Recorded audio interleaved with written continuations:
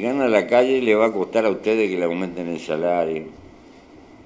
Va a costar, eh, eh, vamos a tener un gobierno machete para repartir. Porque hay que gobernar de punta y hacha contra el frente, contra el movimiento obrero y contra todo lo demás. Yo no quiero un país partido. Tenemos que buscar la forma de más o menos de marchar y de respetarnos.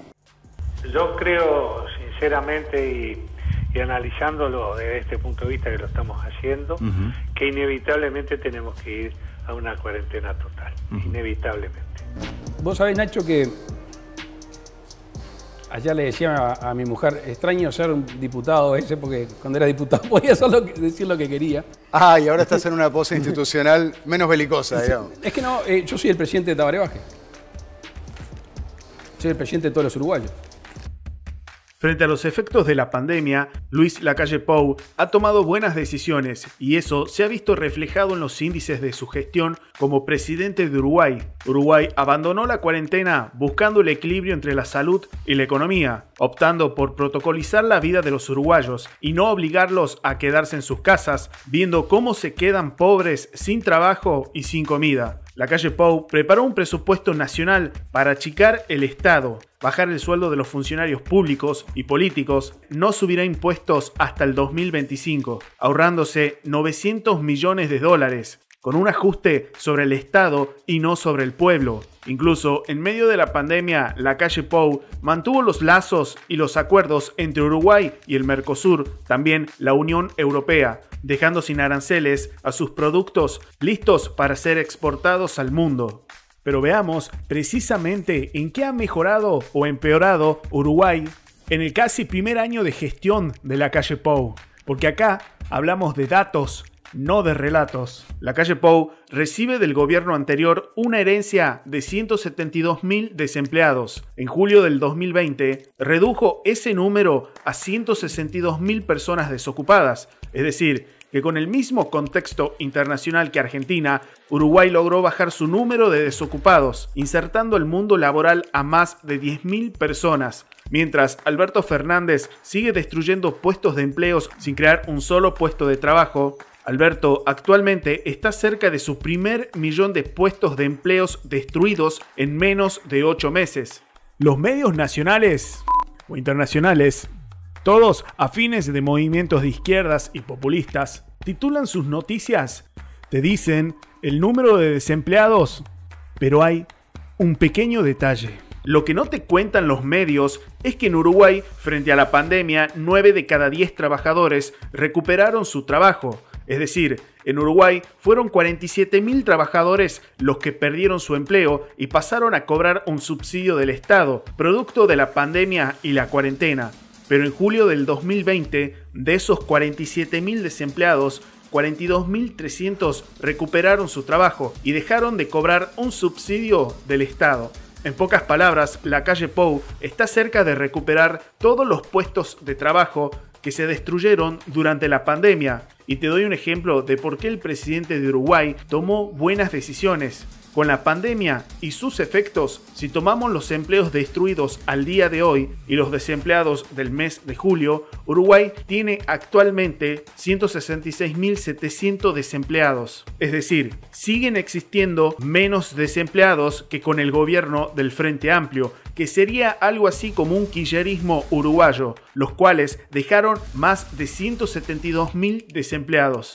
Aún en el peor contexto internacional y regional, Uruguay tiene mejores índices que lo que dejaron los que formaron parte del gobierno anterior, del Frente Amplio, del quillerismo uruguayo.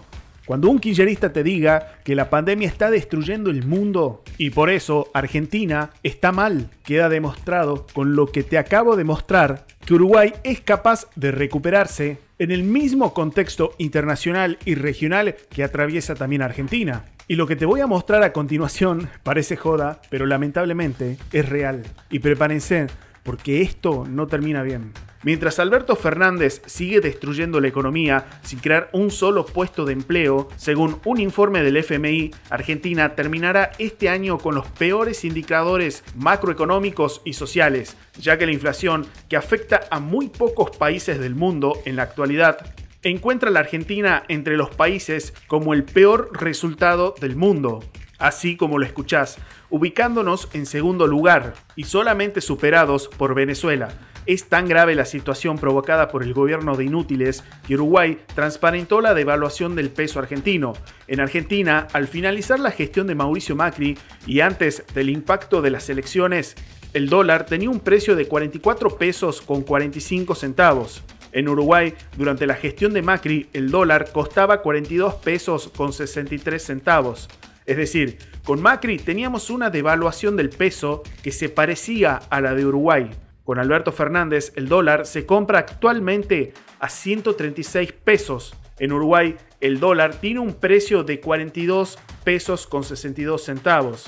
Con Alberto tenemos la peor devaluación de Latinoamérica y para ponerlo en contexto, durante el gobierno de Macri en Uruguay se compraba un dólar con 90 pesos argentinos. Actualmente, con Alberto, en Uruguay un dólar se compra con 275 pesos argentinos. O sea, Alberto Fernández junto al grupo de científicos lograron lo que nadie logró, hacer mierda el peso argentino dentro y fuera del país. Y quiero que prestes atención a esto, así puedas seguir odiando a Alberto, sus bigotes y de esa forma poder enamorarte cada día más de la calle Pou. El sueldo medio en Argentina es de 440 dólares, el sueldo mínimo en Argentina es de 284 dólares, el sueldo medio en Uruguay es de 713 dólares, el sueldo mínimo en Uruguay es de 442 dólares, ubicándose como el salario mínimo más alto de toda Latinoamérica. Es decir, con el mismo contexto económico mundial y regional, una persona es más rica en Uruguay y más pobre en Argentina, ya que el sueldo medio de Argentina, con Alberto, no supera el sueldo mínimo de Uruguay. La calle Pou es el segundo mejor presidente de Latinoamérica, obviamente después que Bolsonaro. Todos los índices y las estadísticas, incluso los datos que son propios de un país próspero y en constante crecimiento, están del lado del presidente de Uruguay. En Uruguay actualmente tienen al mejor presidente de los últimos 20 años y esperemos que sea el mejor presidente de la historia. Mientras Argentina incrementa el hambre, la pobreza y la miseria, Uruguay incrementa las oportunidades para aquellos que quieren vivir mejor, para aquellos que quieren un país con más trabajo, menos inseguridad y muchas más libertades. Mi respeto y admiración al pueblo uruguayo, sobre todo a su presidente. Hoy asume un gobierno, un presidente, que se compromete a respetar el derecho de todos.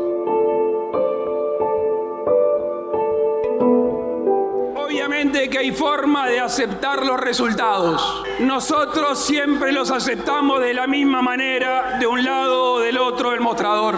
Lamentablemente el candidato del gobierno no nos ha llamado ni ha reconocido el resultado que de nuestro punto de vista es irreversible. Debo decir que recibí el llamado del presidente de la República con el cual hemos tenido un sinnúmero de diferencias, pero siempre le hemos reconocido su republicanismo pero siempre mucho más la energía que ustedes nos han dado que la que nosotros hemos sido capaces de dar. Siempre seremos deudores de la energía, el afecto. Además de gobernar un país, queremos tener una sociedad en paz y una sociedad unida. El Uruguay va a vivir un momento histórico que está sobre los hombros de hombres y mujeres de cinco partidos políticos que a partir del primero de marzo van a gobernar el país. Ya empezaremos con los cambios que comprometimos. Vamos a ejercer la autoridad, vamos a ser justos, vamos a crear herramientas y oportunidades para los uruguayos. Ya tendremos tiempo de hablar, ya tendremos tiempo de festejar. Ustedes, yo ya tendré tiempo de ponerme a trabajar, que es lo que espero con toda mi gana por el país. Yo realmente estoy convencido de que si Uruguay tiene un cambio de gobierno no es, por supuesto, por mi persona y tampoco solo por mi partido, es mucho más importante.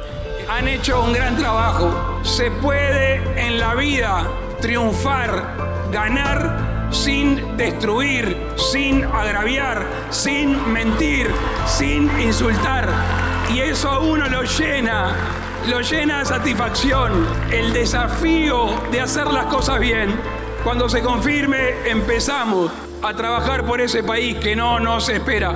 por ese país que necesita abrirse al mundo, separarse de dictadores finalmente y defender los derechos humanos por ese país que tiene que recuperar el sistema educativo para aquellos más vulnerables que realmente puedan tener acceso a educación de calidad.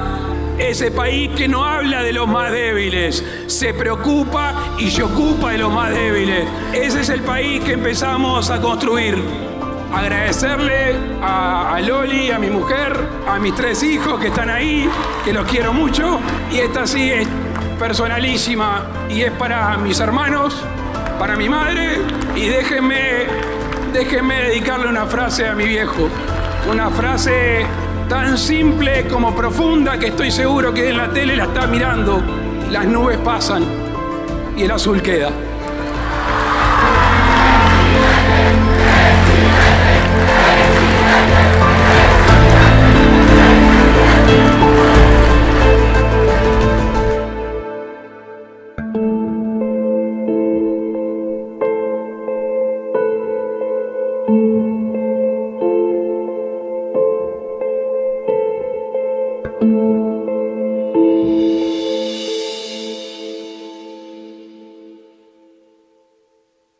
No quiero dejar pasar la oportunidad para agradecerles de corazón a todos los sponsors de este canal. Muchas gracias de corazón.